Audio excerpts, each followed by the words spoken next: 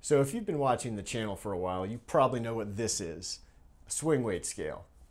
You use it to figure out the swing weight of golf clubs, hopefully match up the feel throughout your set. But a lot of people probably don't have a swing weight scale or maybe don't have easy access to one.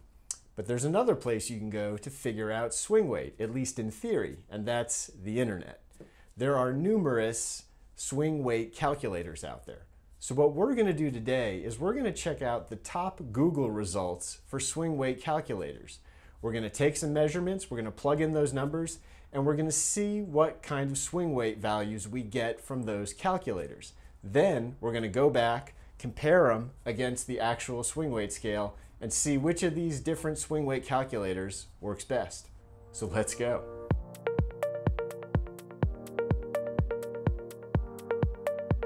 Hi everyone, welcome to the Mobile Club Maker. I'm AJ. I hope you're having a wonderful day. So we are going to dive right into this. We are going to look at the top three results that you get if you do a Google search of golf swing weight calculator.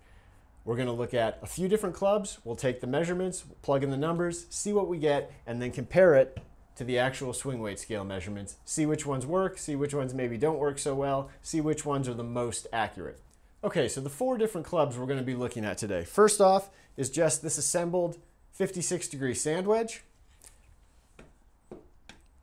The second club is this 7 iron. However, this club is not assembled yet. I have not epoxied it together. So this is going to give us a chance to look at, the, look at these different swing weight scales, look at these calculators, and figure out how good they would be if you were actually building golf clubs too. So this one, we've got the head, the shaft, and in this case, I've got just a cut grip on the end for weighting purposes. So we'll use this for our second club. Third club, this is a 44 and a half inch driver, a little bit heavier shaft, 76 grams. So this will be another good test for the swing weight calculators.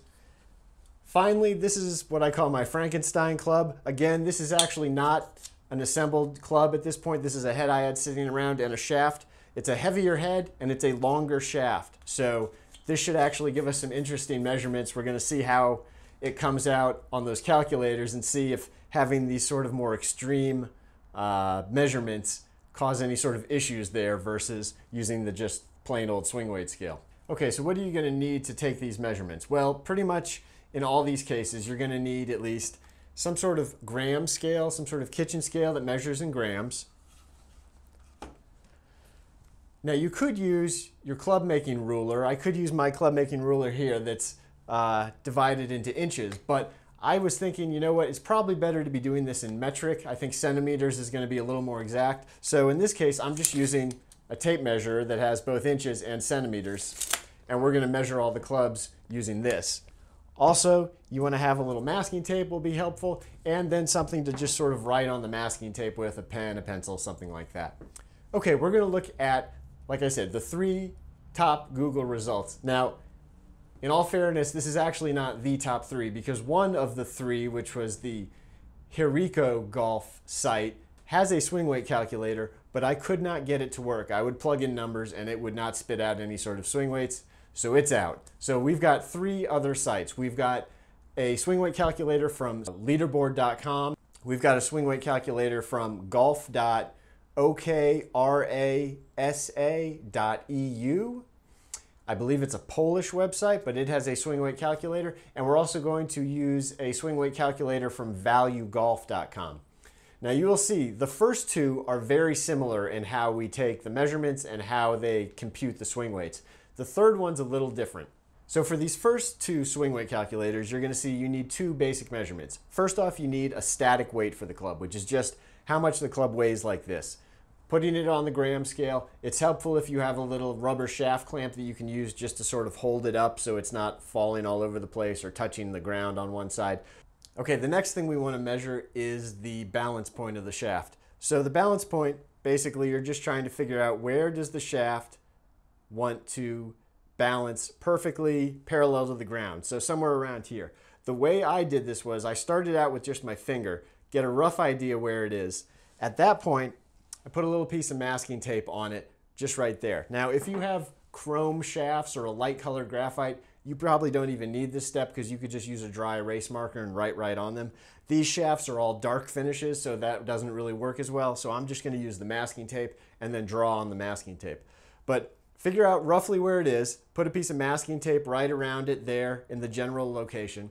And then I just put a little piece of shaft in my vise that I'm gonna use basically as a little bit more exact version of my finger to then go and balance the club again, figure out exactly where it measures and balances, and then right there, we're gonna put a little line, okay? Once we've figured out the balance point, is we're gonna go ahead and measure it. And basically all I did was take my tape measurer, hook one end of it onto the very end of the shaft, and then just measure down to the little line I made right there and measure that in centimeters. Did that for each of these clubs. Okay, so once you have those two measurements, you can basically use two of these three swing weight calculators, both the leaderboard.com site and the golf.okrasa site both just require those two. If you're using the value golf site, it does things a little differently. It factors in the component weights of each of the pieces, the head, the shaft, the grip, and then also the lengths and the final length. You, so you need all that information to get the swing weights on that. So basically, still just need the gram scale if you can break all the pieces apart and weigh them each individually and then measure out the lengths of them.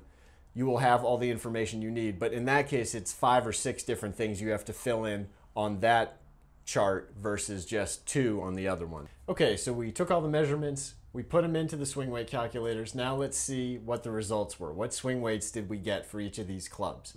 So first off, let's use leaderboard.com's uh, swing weight calculator. The wedge came out basically right between D2 and D3.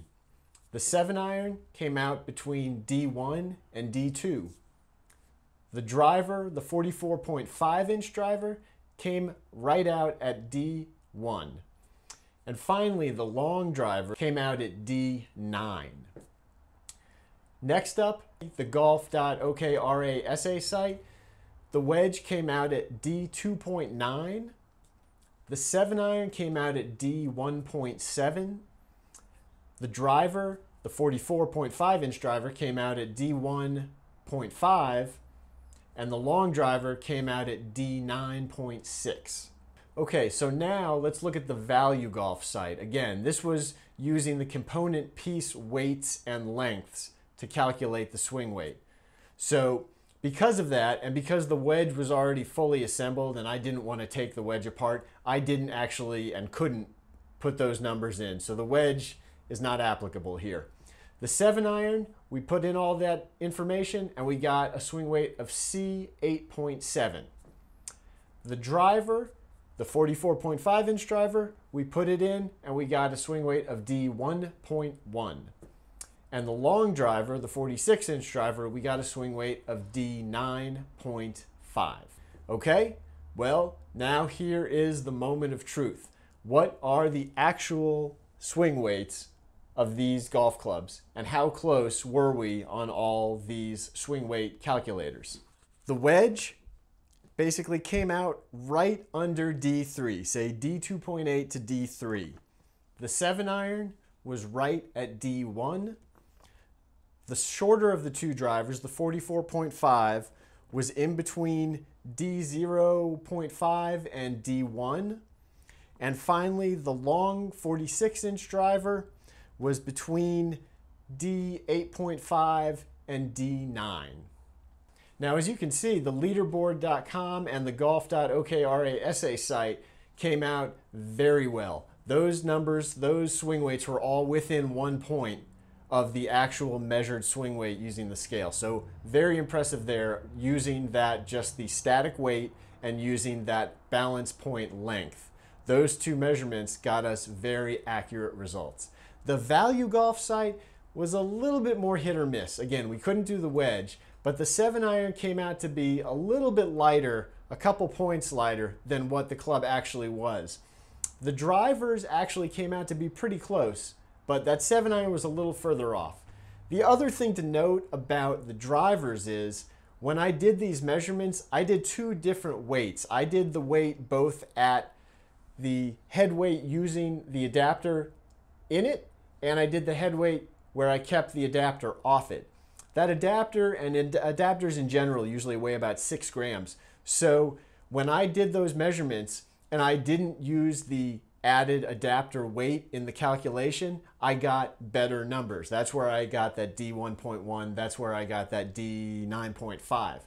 If I put the adapter weight and added that onto the head weight and then put that into the calculator, then all of a sudden I got swing weights of D4.7 on the shorter driver and E3.4 on the longer driver. So having said all that, I think it's pretty apparent that the swing weight calculators that seem to work best are the ones that are just using those two measurements, the weight and the balance point length.